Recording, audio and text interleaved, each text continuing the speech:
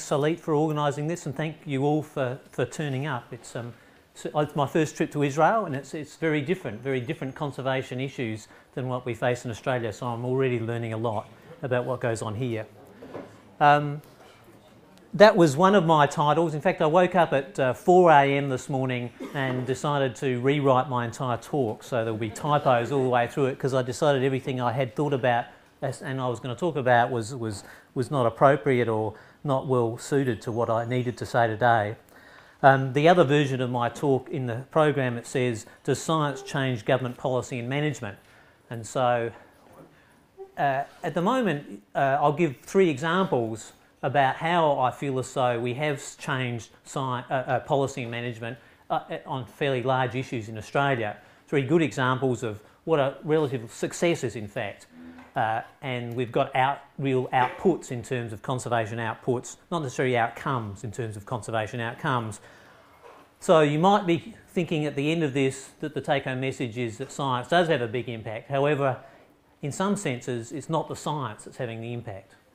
Uh, and what I'll try and end up with, it's, it's, all the things other than the science that's having the impact. Being a scientist sometimes helps, and uh, in the end, I'll talk about uh, my approach to actually getting things done, which is certainly not politically correct uh, and is not down in the handbooks. And we might be something that we need to discuss about really the human inter interactions between all these different organisations, the government, the NGOs, the scientists, and how do you actually get things to happen, uh, which is which is usually, uh, as I often say to my lab, is just flirt, flirt with anybody. That's the key. I don't know if there's a good Hebrew translation for flirting, but it's sort of a non-sexual flirting, basic. You know, be nice to people, see what you can get out of them, and that's how to get anything done. And I suppose that's it, really. That's the take-home message. You can go to sleep for the rest of the talk. Um, I have a very large group of people that I work with, um, and uh, that's just about half of them. So I, I'm like all good and successful professors, I try and do as little as possible and exploit the minds of the youth.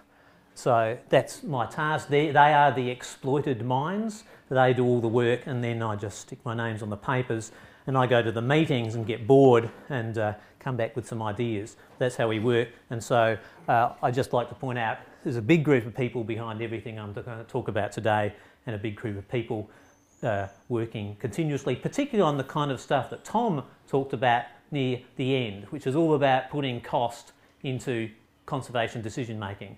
So the, the broad theme of my research group, and I'll tell you how I got to that point, was from about 1994. I, sub, I sort of woke up one day and decided that conservation biology has too much biology and too many biologists, and they needed some decision scientists. They need some economists and some engineers and some applied mathematicians who are the people involved in making decisions. And uh, that's what I've been doing for 15 years, is just stealing 50-year-old tools from economics and applied maths and bringing them in to conservation. That's basically it. I'm going to start with some stories, and the first story I'm going to start off with is the story that drew me to that conclusion because it started around about 1992, 1993. And to, it's, it's a very long story, I'm going to make it quite short. Um, but this is the first case where I'd been involved as a activist in the conservation movement. This was the first case when I was a, a young lecturer involved in with government trying to make a decision about a threatened species. So the little possum up there on the top right is leadbeater's possum. And effectively, uh, this is work I did over a long period of time, three years, four years with David Lindenmayer. We continued to work together. David Lindenmayer spent a lot of his PhD working on leadbeater's possum. And in the 90s, there were enormous disputes in Australia about forestry management. They were, that was the big green issue, the big environmental issue in the entire country, or where the forests are, which isn't much of the country. But that's where the, the, the issues were, and that's where people were fighting.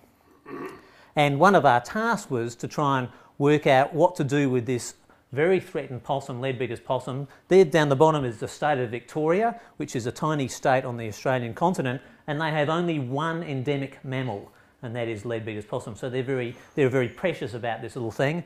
The bad thing about this little mammal is it lives in the most productive Australian forests. In fact, it lives in the tallest flowering tree in the world, which is mountain ash, Eucalyptus regnans. And these trees grow about one or two metres a year. uh, and they grow very fast on good soils, and that's a rare thing in Australia. So they're used intensively for forestry. And these possums prefer to nest in trees that are dead and old, and well, they're dead, so they're four or five hundred years old, or at least 300 years old. So they're not particularly compatible with clear fell forestry, which is what a lot of the forestry in that area is, in that small area. Uh, so our task was uh, the Victorian government basically and the state agencies came to us and said, can you work out how we can save this species? What is a viable population? A very classical question that you get in those uh, periods of time, and we talked a little bit about what is viability. And so that was our task. Um, we conducted what classically I would do from sitting in a maths department and David being an ecologist with lots and lots of data, a big population viability analysis. And this is what I did for several years uh, on lots and lots of species doing population viability analysis. And what's the problem with population viability analysis? The first thing is you've got to decide what is viable. What is a viable population? Well, actually, nobody knows the answer to that question. We've written a thousand papers on it and we have no idea. Um, and then I realised that when the Victorian government said to us, tell us what we have to do to our forests to make a viable population, well, science does not solve that problem. There's no, because A, if we said we need it to have a 99% chance of surviving a thousand years, you can never log again in this entire region, that wasn't going to work. And then they could easily say to us, why 90%, why a thousand years? Where's the science behind that? It's not, that's a, that's a, that's a value judgment.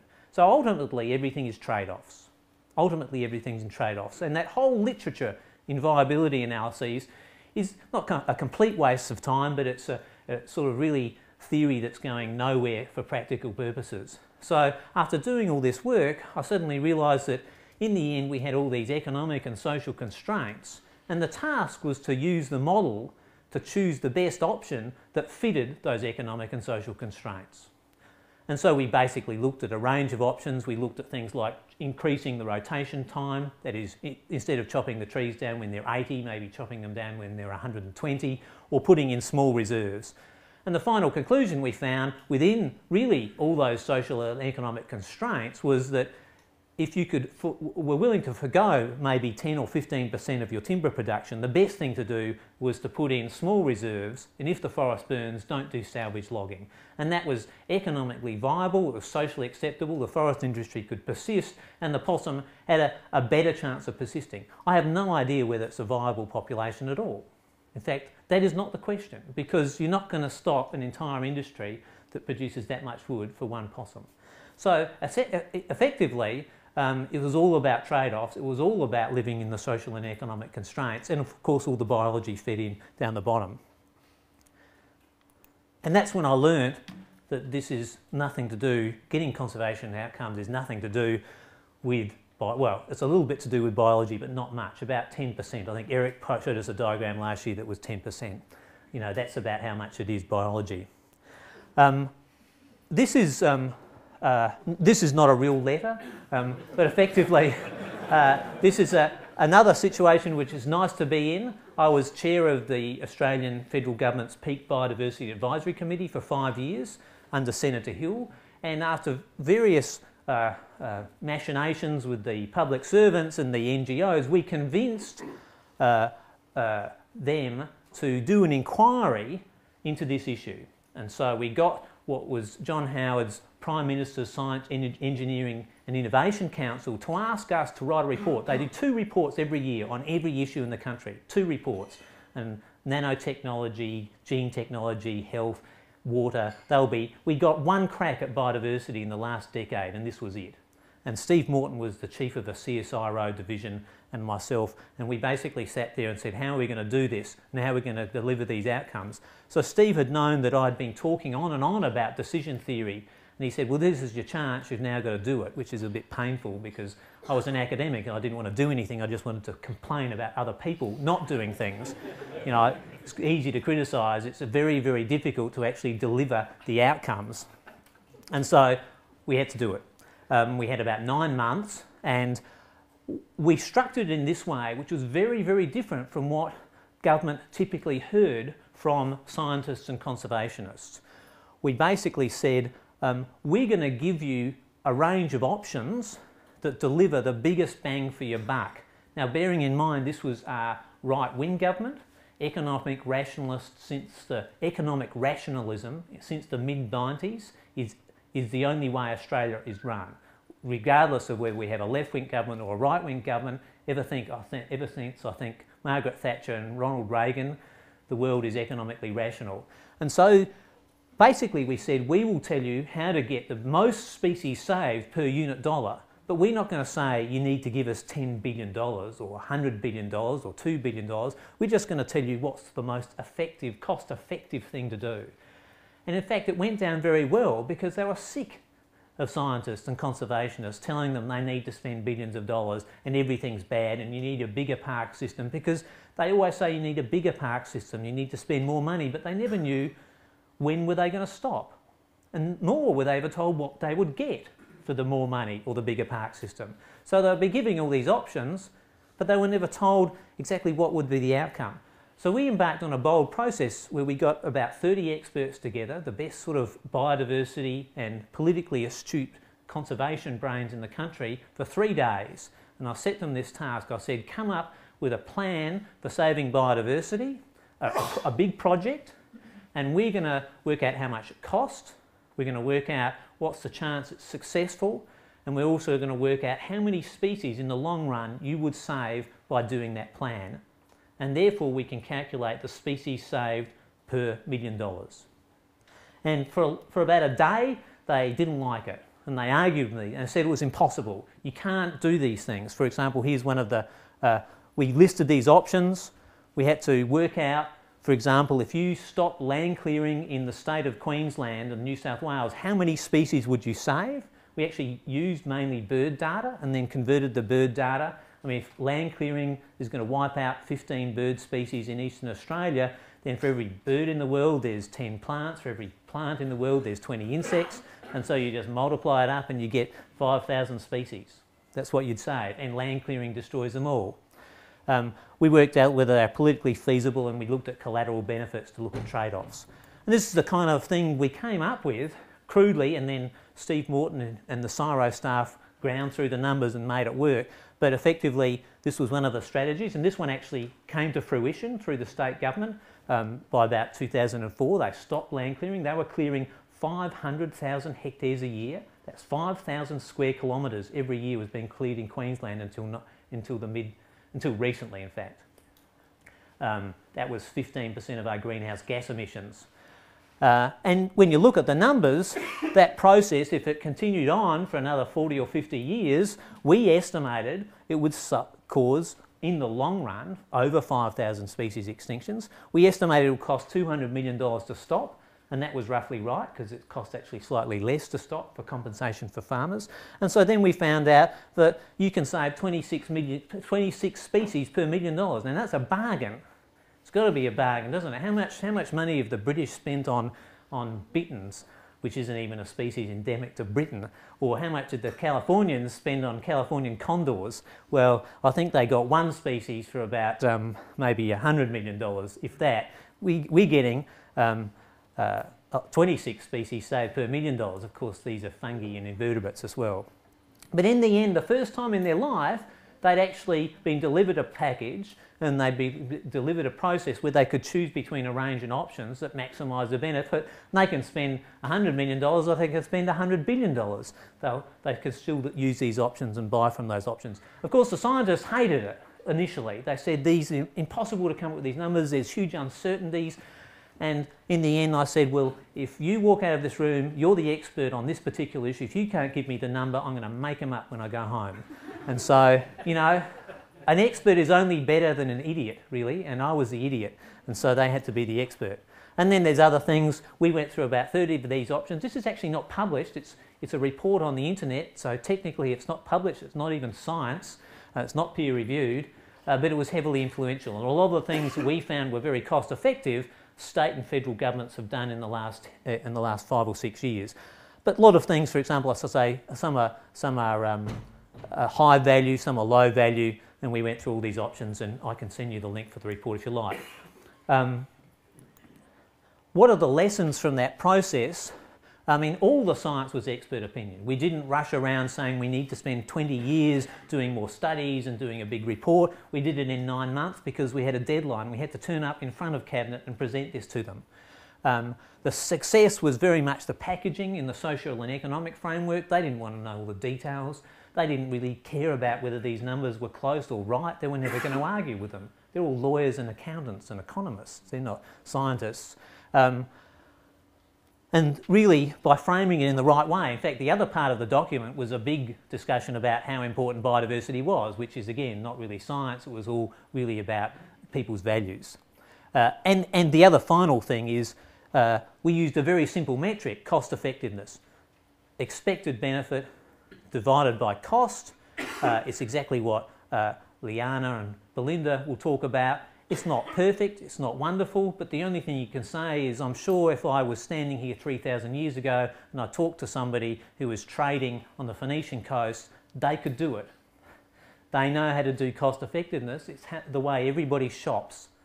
Okay, how many kilograms of flour per dollar? So we've the, the cost effective is almost almost in our genetic code.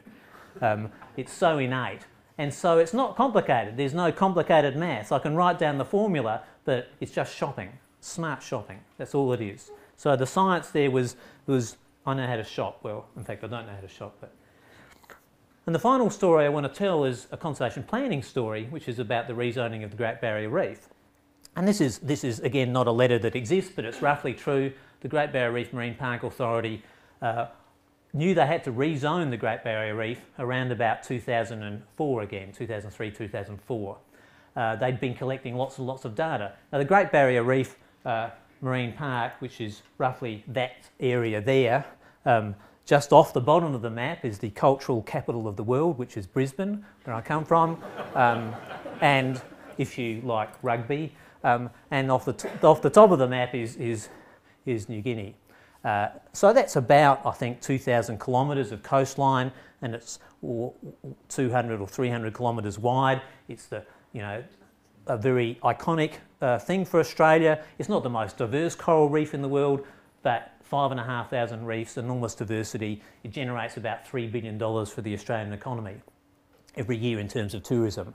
And now, it was already a park and was already managed by one authority, that was the Great Barrier Reef Marine Park Authority, and at that time John Day was running this process. Uh, as I'll call them, they uh, had a mandate, they'd already conserved 5% of that area. So when we started, 5% was green zone. Those colours are actually different sort of ecoregions. 5% was green zone. They had tons of data, so they came to Bob and I and they knew that we were into conservation planning.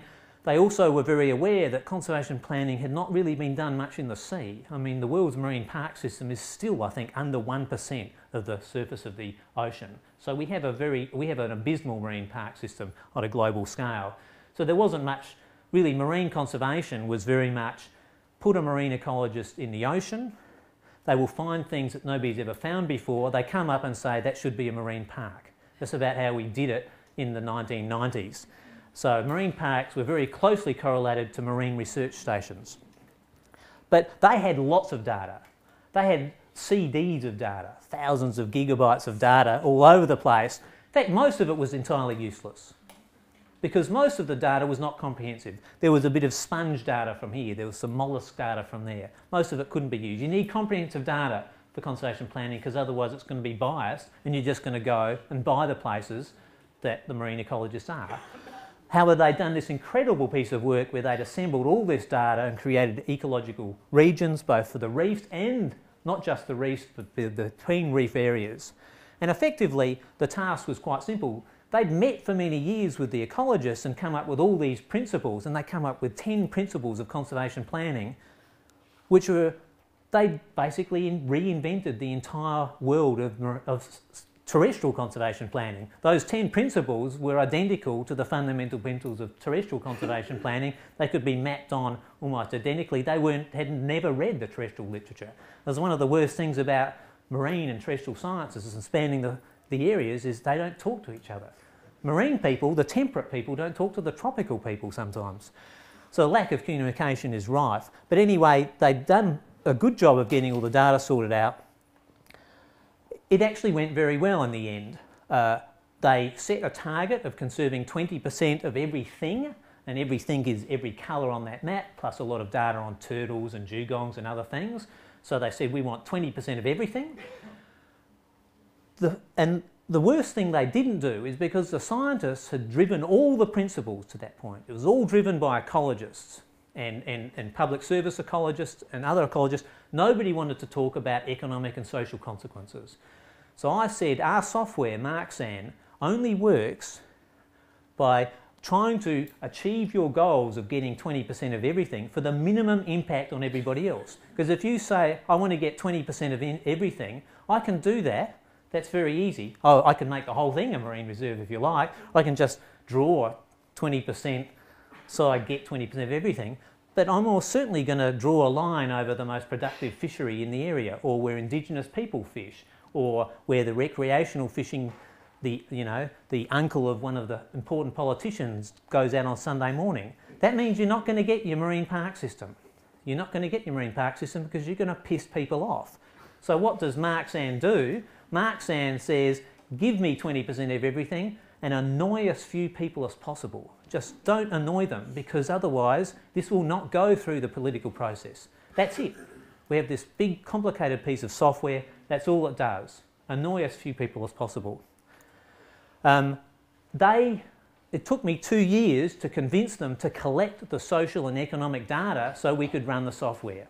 And that was the one thing that was a tragedy. They just kept doing bi more biological analysis because they were biologists. Um, so it was easy. In the end, it happened. The reserve system's in. This whole process is now going all around Australia. We will have a marine reserve system that covers an area the size will, they will rezone an area the size of Australia and probably somewhere between 20, 15 and 30% will be conserved. So that's, we're talking about 2 million square kilometres of marine reserves could emerge following basically this process. It's been a very long and slow and painful process, but it's all happening and it's all being done by one piece of software and a federal government. And actually, it's been done driven really by a person who was our former Environment Minister, Senator Hill, who had the vision as early as 1996 that it was time to make a marine park system. So we had one politician who several of us had serious long chats to and said, this is your chance to make a mark on the world. This is your chance to change the face of the planet. And he has, unfortunately, he's not in office anymore as an environment minister, but he was the person who set it all going. So you've got to get to the politicians and convince them. Um, all that happened. Uh, in some senses, you might say that sounds like a success story. There was, I'll tell you one bad story. When this process finished, the compensation package, which was buying out fishermen so because they'd lost areas they could fish in, largely commercial fishing, was expensive. It was $300 million. I think that was a good outcome because they could reorganise their lives and, and go on and, and, and, and the fishing pressure was reduced. Um, it's, a, it's $300 million is a small price for an asset that makes $3 billion to the Australian economy a year, so I think it was cheap. However, because of that, some of the people in the public service, the federal public service, decided this process was bad. And when they went to do the rezoning for the southeast of Australia, that's the area between Sydney, Adelaide down to Hobart, another huge area, they refused to use any systematic planning processes. They refused to use them. Apparently I pissed a few, few of them off publicly and they wouldn't use Marxan. They then commissioned other people to build the reserve system who then used Marxan to build it, but they wouldn't tell them they were using it because they, used, they weren't allowed to use it because I'd pissed them off. They delivered us a reserve system which was 8% of that region. Now that sounds great. 8% of the entire shelf in the southeast of Australia, half a percent of the shelf is conserved. Now, anybody knows anything about systematic conservation planning knows they were duped. The fishing and the coal, the fishing and the oil and gas industries beat them up, and they only lost half a percent of what they could ever want, which is all the shelf. I mean, how much interest is in there in water that's 4,000? Now, you need a lot of money to do this because you need to pay somebody full time to produce such stuff. You need somebody who can write well, which generally is not us. Write well meaning it has to be simple and it has to be clear. I'll finish with one sort of comment about how do you, how do you ever get things done. Now, we, we've written a paper about um, practical su suggestions for getting researchers and policymakers and managers all working together. And we have all these politically correct, lovey-dovey sort of hand, hand holding ideas about how we're all going to be together in the same room and make decisions collectively. And they're good. They're good. uh, you know, uh, communication, workshops, sharing, people spending time in each other's places. It's basically about building relationships. And I think that's the critical thing. Where I've had success, I've built relationships. But there's one thing that's not in here, which they wouldn't let me put in here, and there's how do you get anybody to pay any attention to you whatsoever? So you, you know, I started this stuff 20 years ago when I was a little postdoc with no job and no lab and no career. What do you do? I throw stones. So I just sit there and I throw stones. I still throw stones. I violently criticise the government that gives me $1.7 million a year on a monthly basis. Because if you throw stones, they get sick of it and they say, come inside because somebody outside is throwing stones at us. Can you come inside? and then a Salit says, you turn up. As soon as they say, can you be on a committee? I currently sit on 17 different NGO and government committees. I always turn up because if you're not turning up, you're not part of the process. Somebody, as Salit says, who makes, the, who makes decisions in the world? The people who turn up. That's it. If you think you're disempowered, just turn up. But first you throw the stones because you're going to get the invita invitation. And then the final thing is, when you're there, don't complain, well complain a bit, but don't complain too much, give them solutions. You've got to actually tell them what they can do to make things right. You can't just tell them all the things they've done wrong in the past. So we've always had a very much a solutions-based approach. We, we may say the way you're doing is not perfect, but this is a better way of doing it. And so we're always about delivering solutions rather than criticising government just for the sake of it, although it is a lot of fun. Thank you very much.